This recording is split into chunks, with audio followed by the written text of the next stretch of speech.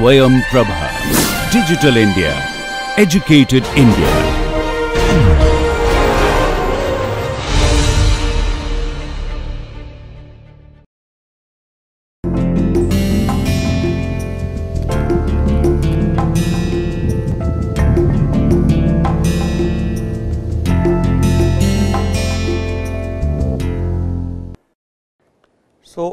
Today we will continue our discussion with the predictor corrector method which we uh, end with which we ended yesterday yesterday's discussion. It is important to realize that we are not going to keep on writing down algorithms and doing uh, the proofs to validate that they are correct. We are going to give you a brief conceptual idea of what a predictor corrector method is and then what a long step path following method is. And then of course, you can go ahead and read more the more references and uh, the, real research papers or books. I, I, have already showed you this particular book which is very very important uh, for your study here and once this book will have huge material which you can study and enjoy. So, what is a predictor corrector step I am actually telling it from this particular book is that you start with a you have two neighborhoods here. The first neighborhood is linked to this particular choice of the centering parameter and this is the n2 0.25 that is theta is equal to 0.25. The next neighborhood where sigma is equal to 1 is associated with the neighborhood 0.5 that is slightly larger neighborhood.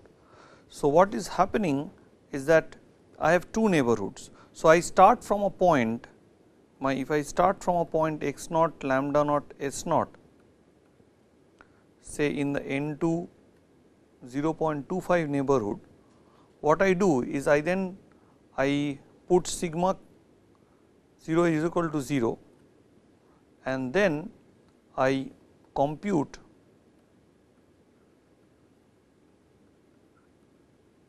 grad x naught, grad y naught, grad that is the Newton steps for the for the relaxed Newton case with this parameter the centering parameter equal to 0. So, now what you do your next x1 s1 s1 x1 y1 s1 how do you compute this this is x0 y0 S0 plus alpha times you are doing this line search in the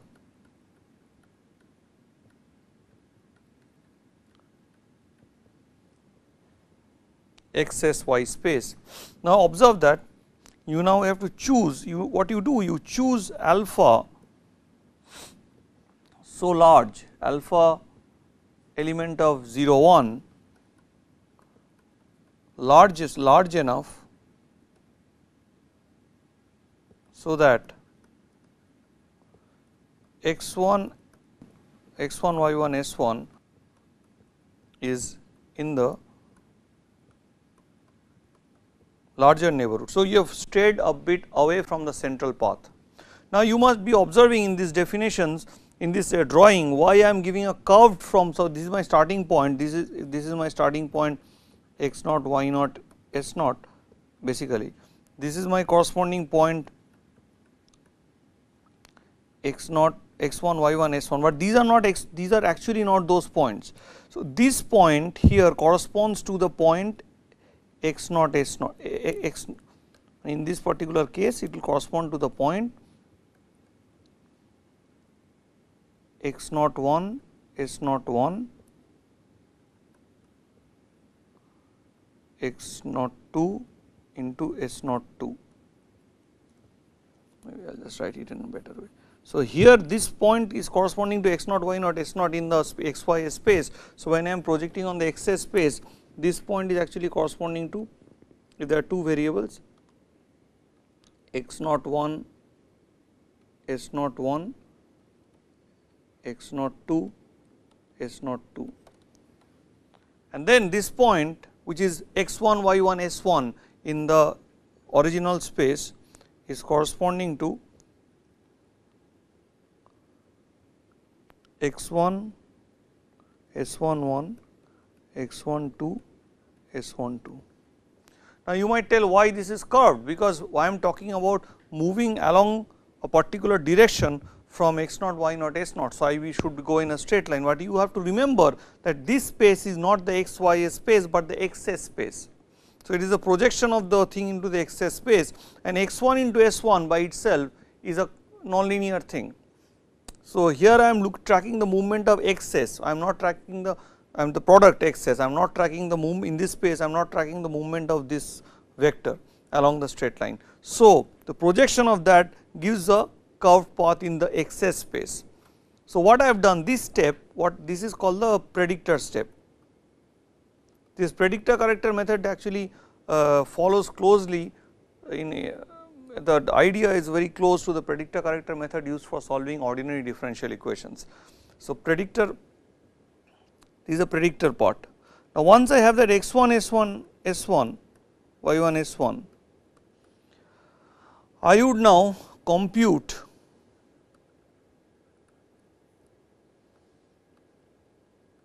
delta x1 delta y1 delta s1 with sigma k equal to 1. Uh, basically, I will solve star the star equation the Newton equation which you know which I am not repeating with sigma k equal to 1. Now, what you do is you do not choose a so take a you sigma equal to 1. So, my centering parameter is strong it is force forcefully taking me towards the central path the projection of the central path this is the central path in the x s space. The interesting part is that here I am looking at the central path as a straight line in the x s space when I have just two variables. So, that is much more easier to explain things. So, I will now compute x 2 y to s 2 I will take a unit step my alpha would be equal to 1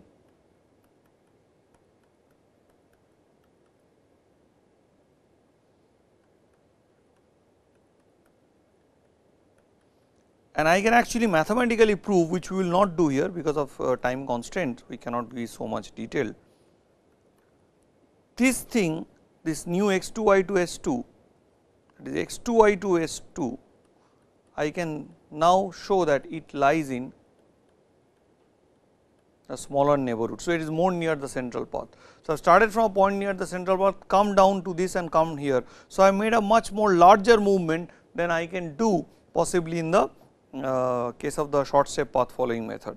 Now, you can mathematically prove that if I take a unit step from here to unit step along this direction I will get a point which will be there. Now, again in this step when I am once I am in the smaller neighborhood I will again choose sigma k equal to sigma 2 equal to 0 and then again I will keep on starting here sorry uh, here my sigma k k is 1. So, here I have done started with sigma 1 equal to 1 now I will choose sigma 2 equal to 0 and generate the point x 3 y 3 s 3 and then when that point is in the bigger higher higher neighborhood uh, here I have mm, come to x 2 here I am in the x 2 y 2 s 2 point. I come to x 3 s 3 point in the outside. And then I will choose, choose again sigma. You will start by choosing now from here you will just choose sigma 2 equal to 0 and proceed you come to this point choose sigma 3 equal to 1 and proceed. So, in this way back and forth back and forth you will try try keep on computing. Obviously, at every step you will compute the tau and the tau will basically you will see it is coming down. So, these are certain things which we will not prove, but now we will go and discuss about the long step path following algorithm. Obviously, it is uh, these things are all can be proved to be following the polynomial time procedure long step path following algorithm. So, here we will not go into details, but try to explain to you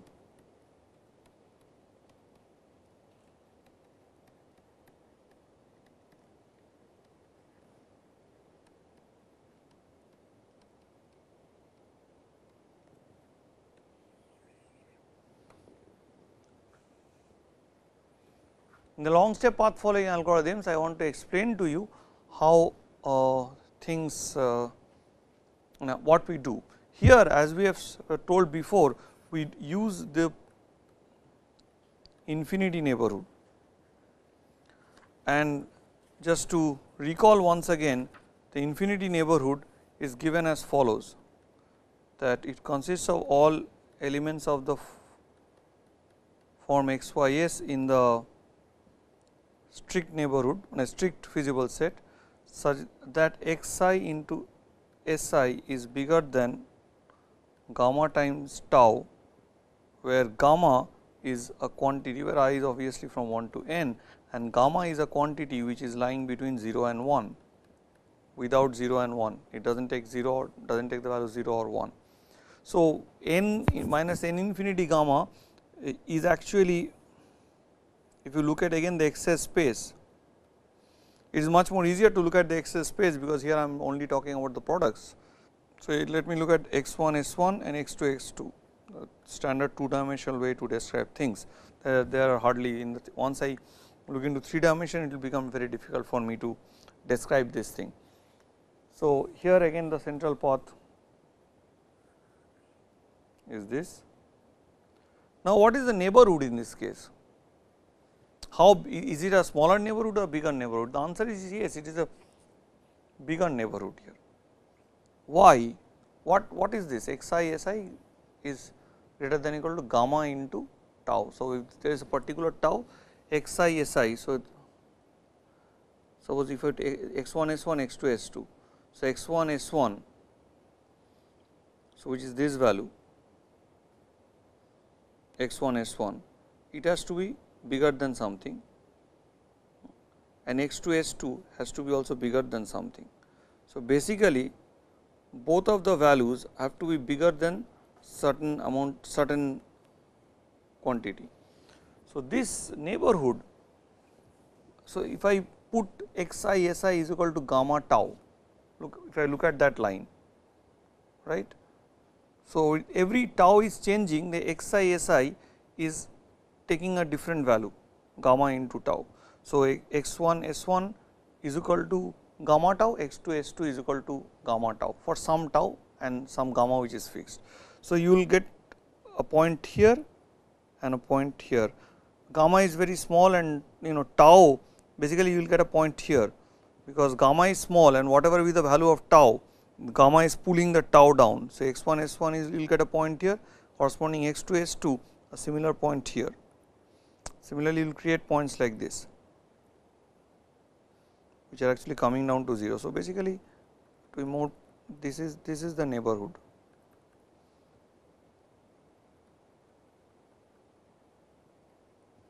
So, you observe this is a bigger neighborhood because you take one point here which is x 1 s 1 equal to gamma tau, you will take the same x 2 s 2 equal to gamma tau here. So, this is the value of, so this is x 1 s 1, so when tau is bigger this is say gamma tau. So, this will be the value of x 1 s 1.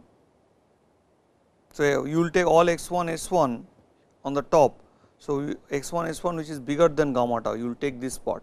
Here this is your gamma tau. So, x, x 2 s 2 equal to gamma tau you take everything which is bigger than x 2 s 2 equal to gamma tau. So, this is my neighborhood. So, this, this is my n.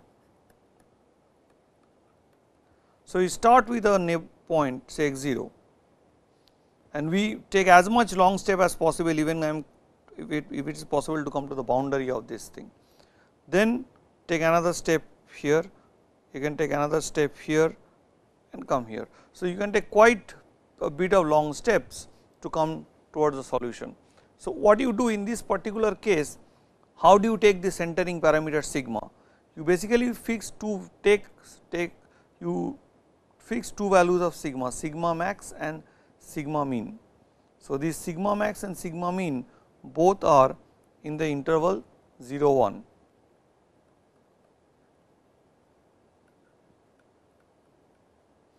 Now, at every step k, but you have to remember that sigma max and sigma mean has to follow this inequality. They cannot be though we, sigmas can be chose from 0 and 1, sigma mean and sigma max has to be has to be bigger than 0 and less than strictly less than 1. Now, what I will do is that for any k that you choose for any k So, I am making it slightly more general now in the way I am telling. So, what you do here is that you choose your sigma k, sigma k is now adaptive, it can change as you change the iteration. It can simply change as you change the iteration. Earlier when we had a short step path following method sigma k was fixed, it was 0.4 possibly. So, sigma k was fixed, sigma k was sigma for everything. In the predictor corrector method in one step sigma was 0, other step sigma was 1. Here the corrector step the sigma was uh, predictor step the sigma was 0, corrector step which was the sigma was 1. But here sigma k becomes adaptive. So, this long step path following algorithm takes you more and more closer to algorithms which are more of practical use. Uh, the one of the most important uh, such algorithm is the Sanjay Mehrotra's predictor corrector algorithm. So, here sigma k is chosen from this set of values. So, you have sigma max, uh, sigma mean and sigma max and what you do is again using the chosen sigma k find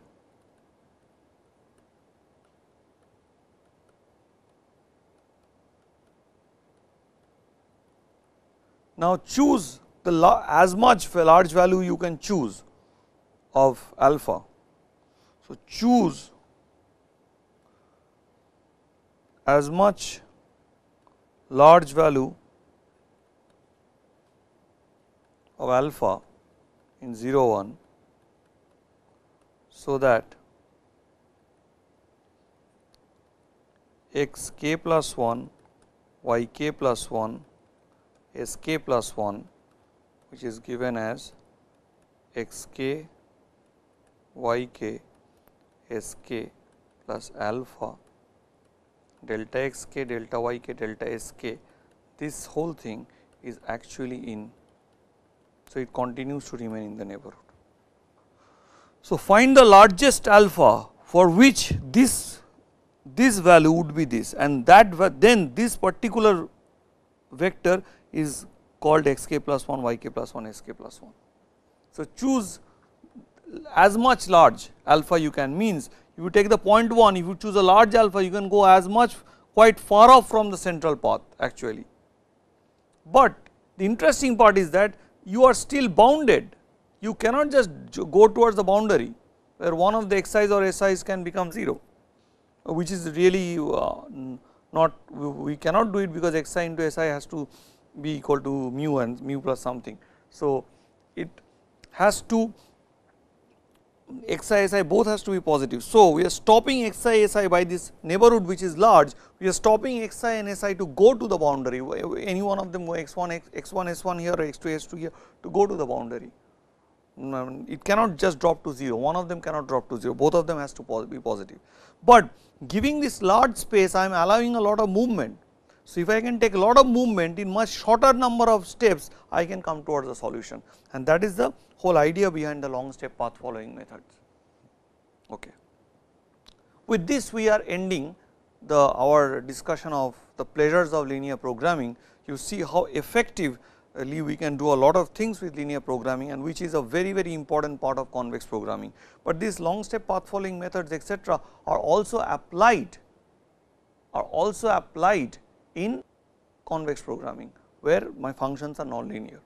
So, we are not going to get into those uh, details, but now we are going to study another important class of convex programming problem which arises out of the generalization of linear programming problems and those are conic programming problems and a particular part of it which is a special part called semi definite programming problem is something which we are going to concentrate on at this moment.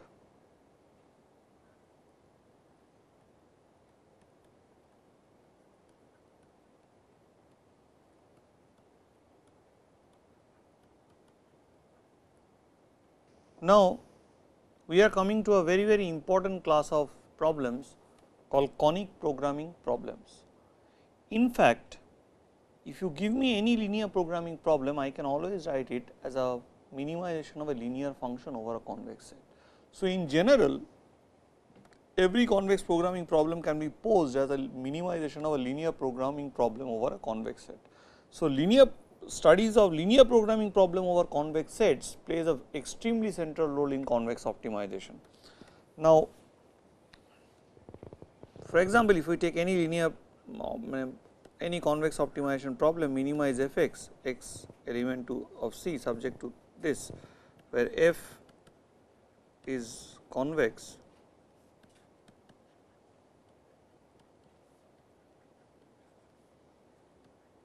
and C is convex, then one can equivalently pose it as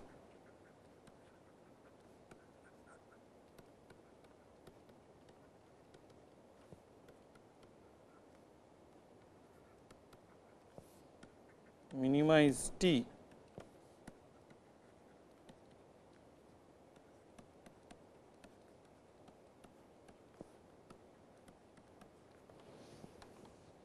Now, this problem is a problem where I have two variables x and t, but this function this function t this is a linear function in x and t. So, we are basically minimizing any convex this convex programming problem can be viewed as a minimization of a linear function over a convex set. So, this because f is convex. So, this is a convex set and C is anywhere convex set. So, in general we want to study minimization of a linear programming problem in where x is in Rn, C is in Rn over some convex set A because here I have just put say A is convex. So, this is the class of problems that you will interest us. One of the important problems that we have just finished uh, studying here is the linear programming problem in the standard form, where the set C or A or A, in fact, I should write here I should put F instead of confusing things because here I will use matrix notation and A will come.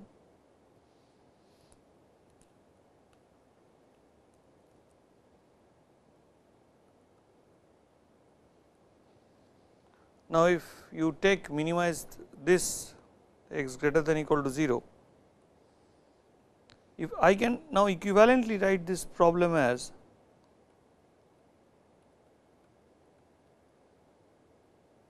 subject to A x equal to b and x element of R n plus. If you observe that this convex set is a polyhedral set because they can be expressed as an intersection of half spaces and hyperplanes. Uh, so, a linear programming problem is minimization of a linear function over a polyhedral convex set. Now, how can I generalize this idea? One of the direct generalizations that can come is to write this problem as follows. Because R n plus is a cone and a polyhedral cone, I can take k to be any closed convex cone which need not be polyhedral.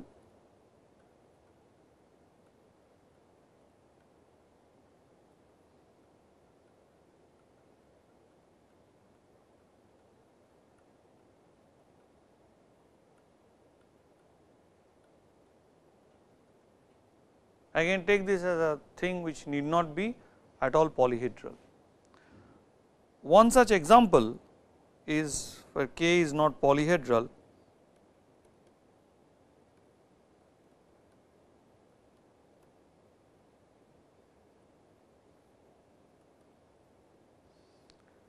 the second order cone or the Lorentz cone. Cone or I would not get into this Lorentz name and all or the ice cream cone.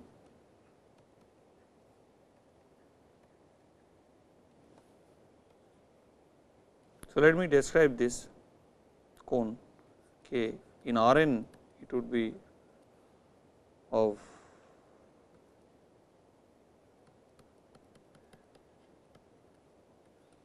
of this form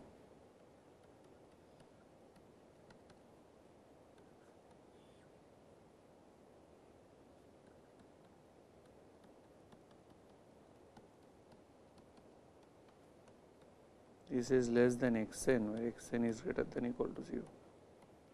So, how do you view it geometrically? If you view it geometrically, let us take the case out of R 3. In R 3, K would look like following.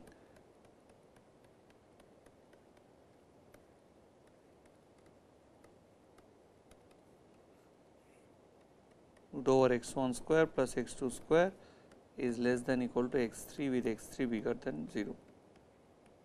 So, this cone can be drawn as follows.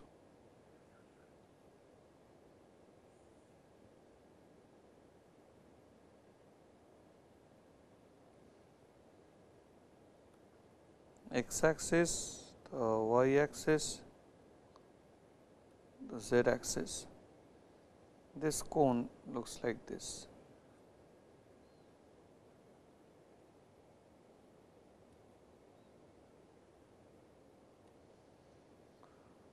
Not that drawing is not so good, but not very bad either I would say.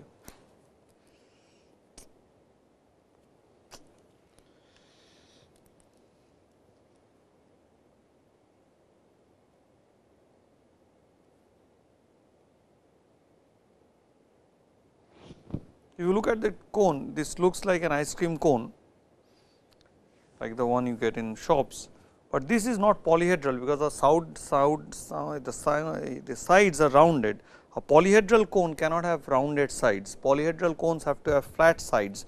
I mean if you if you want to have a polyhedral cone, a polyhedral cone would be like this for example. This would be the example of a polyhedral cone. So, this is polyhedral cone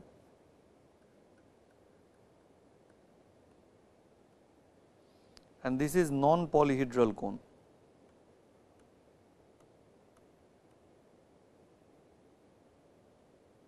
So, these are the two drawing.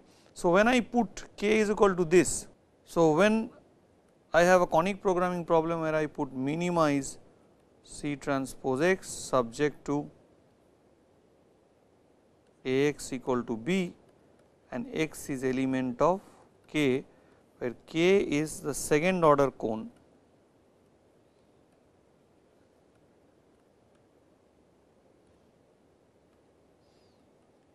then this problem if I call it uh, conic problem or COP and COP is called a second order conic programming problem, a second order conic programming problem, SOCP, second order conic programming problem. So, I should conic programming problem. So, this is not a linear programming problem in general, but a convex programming problem because my final feasible set is not polyhedral. So, if my final feasible set is not polyhedral, I cannot call such a problem as a linear programming problem. Today I am not giving examples, but I will soon give you examples of how these classes of problems are important. A lot of important interesting uh, application problems can be modeled as a second order conic programming problem. Now here we have been concerned essentially with x is in Rn on all this stuff, but Rn is not the only finite dimensional space though any finite dimensional space can be of dimension n can be I have a, have an has a bijection with Rn naturally, but it does not mean that I cannot look into any other uh, framework of finite dimension. For example, the set of matrices, we have spoken about semi definite programming. Now, in this case basically if we look at finite dimensional spaces from a basis free point of view, then we are essentially talking about uh, any finite dimensional space. So, we are now going to talk about semi definite programming and semi definite programming at this moment one of the hottest areas of convex optimization.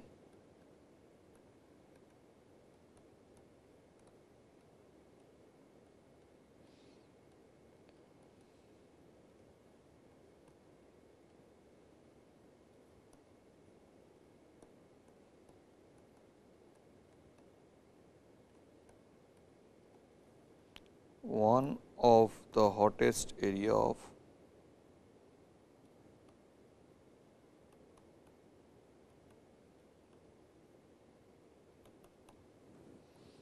So, how do you we have already described a bit about semi definite uh, programming try, trying to find its dual. So, let me first today introduce what a semi definite programming problem is duality etc., will come later on. Now, in our space we will now consider the space S n is a space of all n cross n symmetric matrices. Now, I will also consider like if, if this was R n then I have considered the cone R n plus. So, what is the natural cone here? In this case the natural cone is the space of all n cross n symmetric and positive semi definite matrices.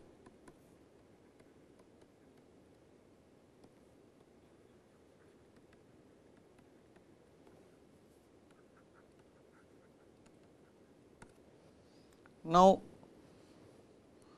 by A is positive semi definite which we will now start writing short as PSD a symmetric matrix A. So, if A is element of Sn uh, is PSD, I will just write it in a more clear way. Uh, symmetric n cross n matrix is PSD if and only if x a x is greater than equal to 0 for all x in Rn. It is there is also a concept of positive definite. So, a element of Sn is positive definite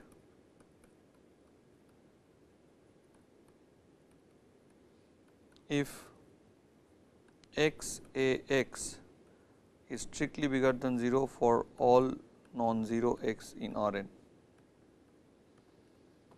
Now, what I want to tell you is that if you collect all the positive definite matrices, the interior of S n plus which we call S n plus plus. So, this is nothing the set of all PD matrices positive definite n cross n symmetric PD matrices positive definite matrices.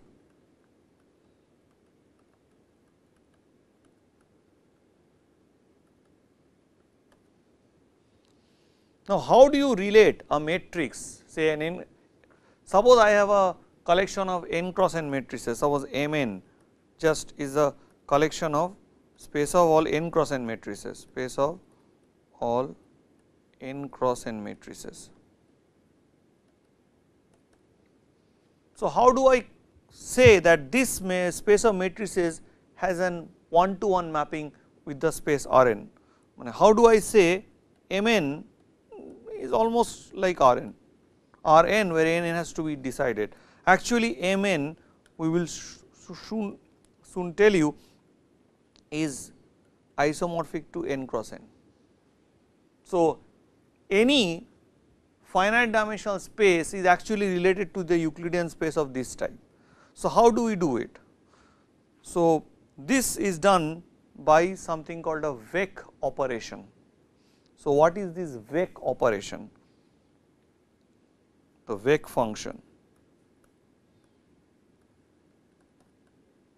So, these are some things you have to know about matrices in the beginning to truly appreciate the beauty of uh, semi definite programming. So, let us look at this one. So, what is the Vec operation? Let me just take the 3, 3 cross 3 n cross n matrix need not be symmetric a 1 1 a 1 2 a 1 3 a 2 1 a 2 2 a 2 3 a 3 1 a 3 2 a 3 3. Now, if you look at this my Vec operation if this is my a what I do? I take this one, I stack it, take this, put it here as in one column, take the next column, stack it below it, third column, stack it below it. So, that will give me a vector. So, my vec of A, the vector associated with the matrix A is nothing but A 1 1, A 2 1, A 3 1, A 1 2, A 2 2, A 2 3, A 3 1, A 3 2, A 3 3 transpose because we write things as column vector. So, 3 3 3 9. So, this is R 9 which is same as. So, I can write that vec of A is element of R 9. So, vec of A belongs to R 3 cross 3. So, M 3 to which A belongs to is actually M 3 is similar to if A belongs to M 3 if and only if vec of A belongs to R 9 or 3 cross 3.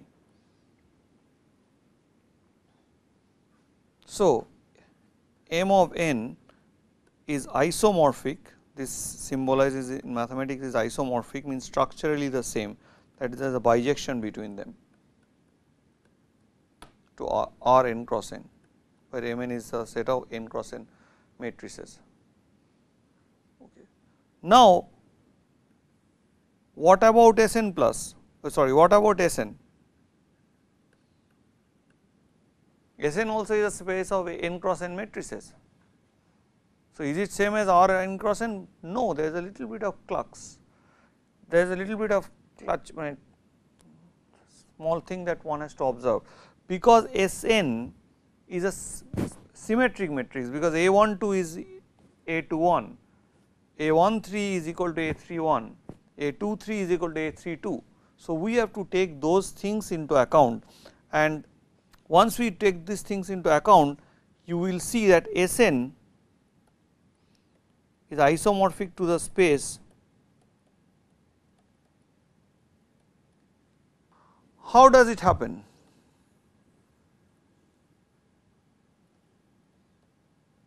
Think about it and we will discuss it tomorrow. This would associated with this is something called an SVEC operation. For example, in if you have the SVEC operation, SVEC of A, you do not repeat the vectors that is the whole thing you do not repeat the vectors. So, array sorry do not repeat the elements here. So, you will see your dimension is getting uh, cut down. So, we will discuss tomorrow what is but now, if I am in the space S n, so is there an inner product in S n?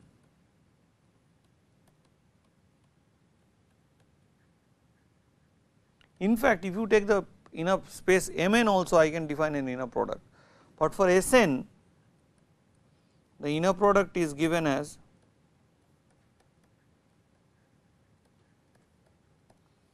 so you take 2 x and y in S and the inner product is given as trace of x actually x transpose y in general, but x transpose is same as x here because it is symmetric. So, x is trace of x y. So, you know the trace is nothing but the sum of the diagonal elements of a matrix. So, now once you have this then it allows you to frame uh, an optimization problem. Now, I will frame as if I am framing a linear programming problem in the space of matrices. So, I will take an element C from S n and consider minimizing of this, this is nothing but trace of C x which is this subject to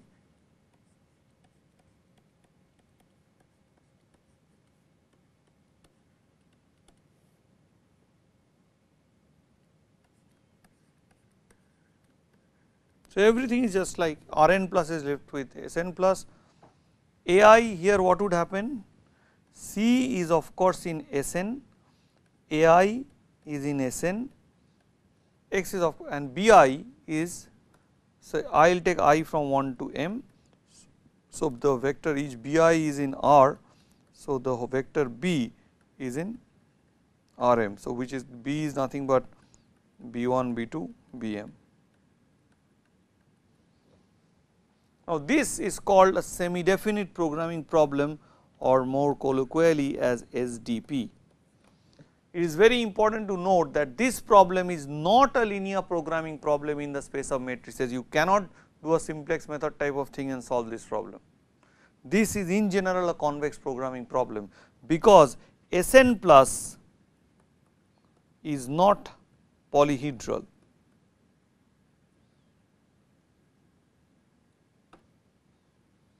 The question is why.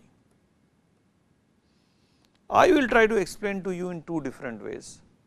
Today before I end this talk I will try to just explain to you one simple fact is that if you take uh, say n equal to 2 a 2 dimensional scenario that is S2 plus then what would happen is that S2 plus would consist of all positive semi definite matrices 2 cross 2 positive semi definite matrices, but my S n itself is how much? Is in is isomorphic to which space? It is isomorphic to n in r n into n plus 1 by 2 if I put n equal to 3 it will be 3 into 3 plus 1 by S n equal to 2 then it will be 2 into 2 plus 1 by 2. So, it will be R 3. So, S 2 is actually isomorphic to R 3 is a 3 dimensional space. So, S 2 plus. So, if you have a symmetric matrix you will have A, B, B, D, B C sorry. So, this is the matrix. So, this is A B C which is giving you the matrix. So, ABC is in R3. Now, if you look at it, so what do I mean by this matrix being positive semi definite? It simply means that I should have A bigger than 0, all the principal minors are determinant of the, I mean the principal minors are greater than equal to 0, C is greater than equal to 0 and AC minus B square is greater than equal to 0. Now, if I look at the whole thing in R3, is it a polyhedral set in R3?